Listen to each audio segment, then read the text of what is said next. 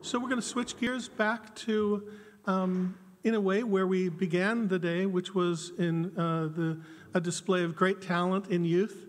And uh, we're very fortunate today also to return, in a way, to radio. Uh, From the Top is a great program.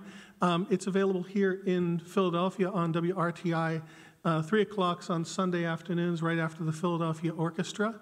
Um, and we had the pleasure, some of us, of experiencing a little introduction to, uh, to From the Top a few years ago with um, Michael Thurber, um, who was uh, both an alumni of uh, From the Top as well as a uh, board member now. Um, he's a great bass player, wonderful artist. Uh, you should tune into his um, social media feed too. He's great. Um, this year is a, a, a, year of change for From the Top, which has been broadcasting for many years.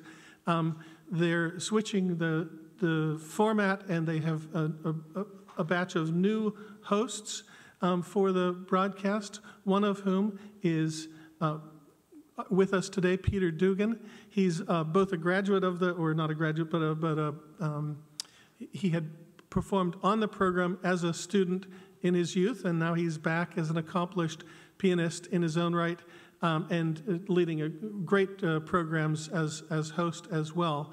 And Laura Futamura is here with us. She's a, a, senior in high school, junior in high school, um, uh, in nearby New Jersey, and a flutist.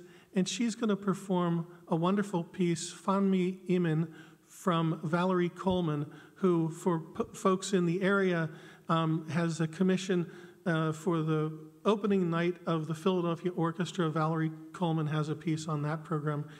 But this piece that we're going to hear first um, is uh, based on the poem by Maya Angelou, which is uh, Fanmi Imèn is Haitian Creole for human family. It's a great poem. And for that, I told you, I warned you that if you have talents, we're going to draw on you. So I con- conscripted Crystal Haling to read the poem for us.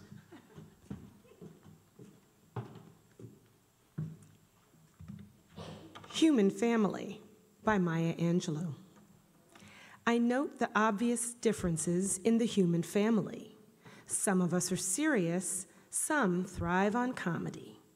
Some declare their lives are lived as true profundity, and others claim they really live the real reality.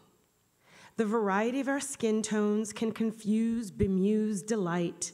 Brown and pink and beige and purple tan and blue and white. I've sailed upon the seven seas and stopped in every land. I've seen the wonders of the world, not yet one common man. I know 10,000 women called Jane and Mary Jane, but I've not seen any two who really were the same. Mirror twins are different, although their features jibe, and lovers think quite different thoughts while lying side by side. We love and lose in China, we weep in England's moors, and laugh and moan in Guinea, and thrive on Spanish shores.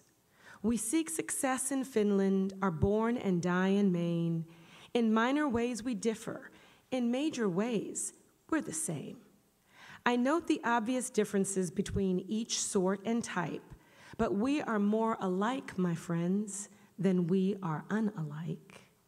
We are more alike, my friends, than we are unalike. We are more alike, my friends, than we are unalike.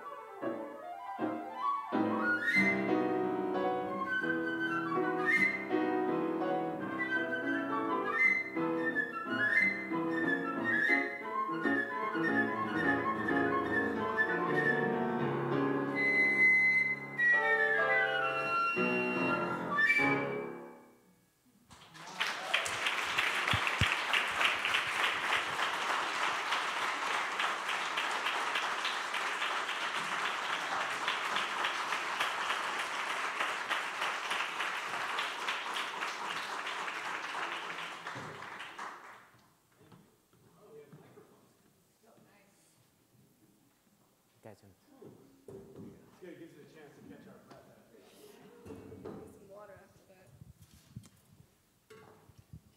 Thank you. Well, it's great to be here. Thank you so much for having us. And one more round of applause for Laura Futamura, please.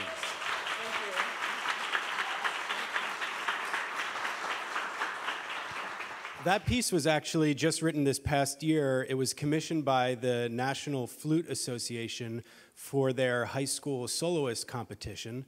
Uh, Laura performed, she competed in the competition, performed that piece, and then won the award for Best Performance of a New Work for that performance.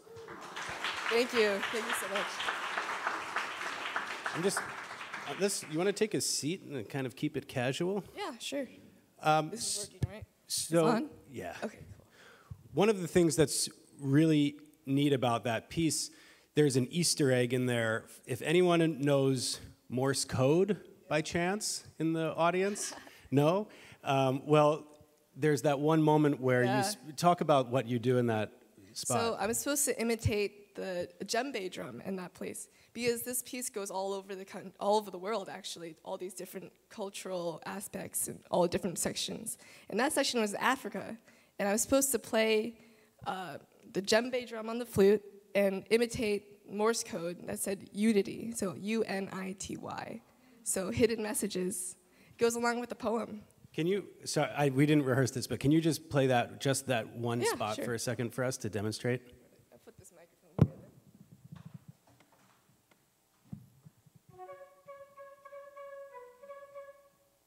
There it is. Yeah. so um, Laura and I met when she came on from the top in November, and we played this piece together.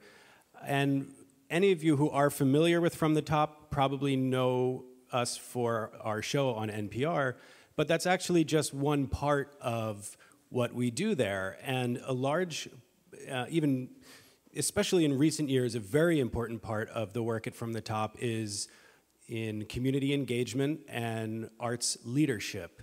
So that means a lot of different things, but part of it is creating a safe space for young musicians like you, Laura, um, who are under a lot of pressure and often in situations like the competition that, that you did, where there's this very intense uh, pressure and it's sometimes can be a little bit isolating. So one of the things we do it from the top is create a safe space where we can engage in dialogue and talk with the musicians about some of the challenges and also some of the joys of being a, a young artist.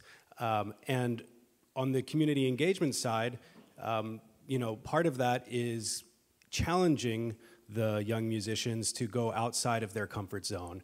And in many cases, that means performing for parts of the population or certain demographics that you would not expect to find at a typical, um, you know, Verizon Hall uh, concert experience. So I was wondering to that if, if you could speak a little bit about your experience on From the Top and the, the time you spent there, particularly in community engagement. Mm-hmm. Yeah, of course. So my particular show, we went to a soup kitchen by the performance area. So we went there and performed. We helped out backstage, well, organizing all the food, getting all the food ready to give out to the people. And I think the biggest thing I took out of that was how similar everyone was to us. It goes along with the poem that we just read. Everyone is human. And that really hit me hard when I was there. There was this one case because people uh, under underappreciated. They they seem to be dehumanized sometimes. So it's hard to remember that they are also human. And there's this one case, two of my friends were supposed to fold these boxes and to recycle them outside. And they were struggling. They didn't know how to fold the boxes. And one guy that was going into the soup kitchen, he saw them struggling. He got out of line just to help them unfold these boxes and put them in the recycling bin. And that really stuck with me because it just reminds you that even when you don't think you have anything left to give, you can always give to other people. And that really, really touched me. And yeah, yeah. can you can you also talk about? Um, so this was all the day after. Yeah, the, our performance. We, we taped the radio show. Can you also talk about, you know, if there's anyone in the room at the soup kitchen who heard you perform, or if there was, you know, anything that stuck out to you? Yeah. In so that way. While we performed, there was these two little girls. One of them was five. One of them was seven, and they're sisters. They were there with their family. Their parents were watching her, uh, us perform. And during the performance, I saw the little girl. She was dancing around while we performed. She was like, bouncing around the table, and the other girl was pretending to play the trombone, and like air trombone the whole time. It was really, really cute. And after the show, they were really, really excited. They came up to us. They wanted to take pictures. They wanted to touch our instruments. We got to talk to the parents, and the parents told us that the little girl that was pretending to play the air trombone, she wanted to become a classical trombonist when she grew up. And that was, first of all, a girl that wants to play trombone in the classical area. That's crazy.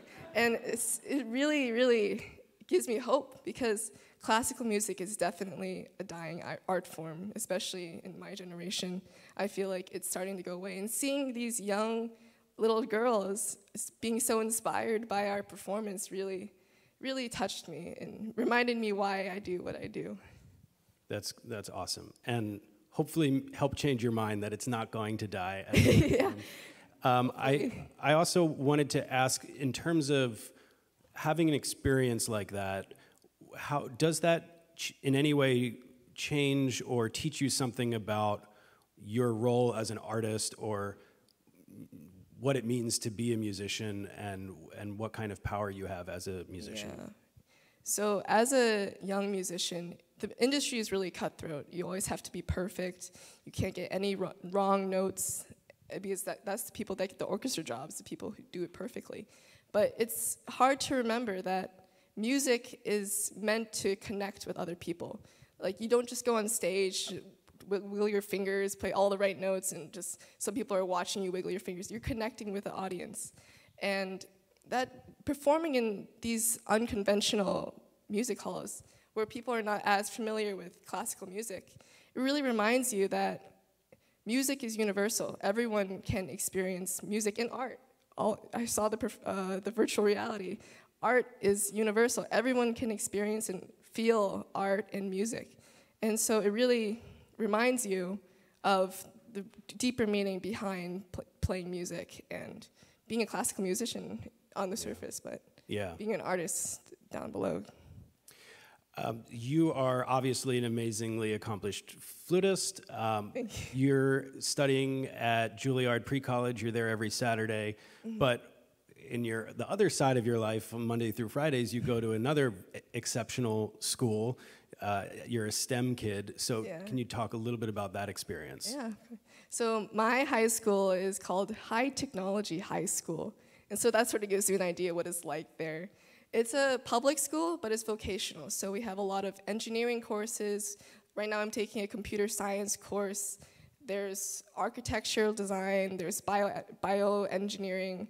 There's a lot of different engineering courses and the whole idea of the school is to promote engineers and scientists, which is sort of funny because I'm a musician. But it's a really cool experience being around all of these really academic people and then also experiencing all the artistic people on the weekend. It's Yeah. a nice balance. Well, I'm from the Philadelphia area myself. I went to St. Joe's Prep, and um, we were known for our football team, which, as you could guess, I was the star quarterback. Our sports teams are the chess team, so I don't Yeah, you were you were saying earlier that the chess the the chess They're the team, jocks. they're the, They're the jocks, jocks. of your school. Yeah, There's they would have stuffed me in my locker. Um, but if you could just talk a little bit about your team that you're on, Oh, because I think this is so cool. So I'm part of the competitive robotics team at my school. We compete in different competitions. We actually just went to, uh, well, the other team, we went to Worlds before, and then over the summer last year, we went to nationals for TSA. It's a Technology Student Association. It's not TSA at the airport. TSA pre-check. It's Technology Student Association. We competed in Georgia, and yeah, it was And really you, great and you won, right? Yeah. Yes, of course. Um, well, it's so ins- inspiring to just see someone, you know, you're 17 years old, you're doing all this incredible stuff, and you play the flute so beautifully. Something that y- you and I both enjoy is playing music outside of sort of what's considered the traditional classical repertoire. It's something that we like to do it from the top as well as, as a, another way of kind of, you know, pushing our pushing the boundaries and Yeah. encouraging He led an improvisation class. Like it was not really a class. It was more like a a jam session. yeah jam session. Yeah, It was a but just get, kind of getting outside of your comfort zone and remembering that in the end, music and art is about connecting uh, with others. And so we're going to just wrap up with a short performance of a piece that you guys will probably all recognize. And we're just going to kind of improv our way through it. yeah. Let's do it. Thank you all so much. Thank you.